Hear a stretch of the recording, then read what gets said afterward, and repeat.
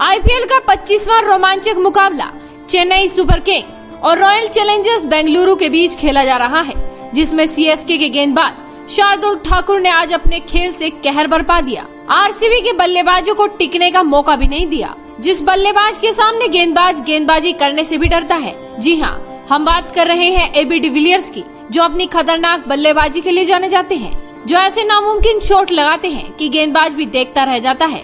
कि गेंद फेंके तो कहाँ फेंके?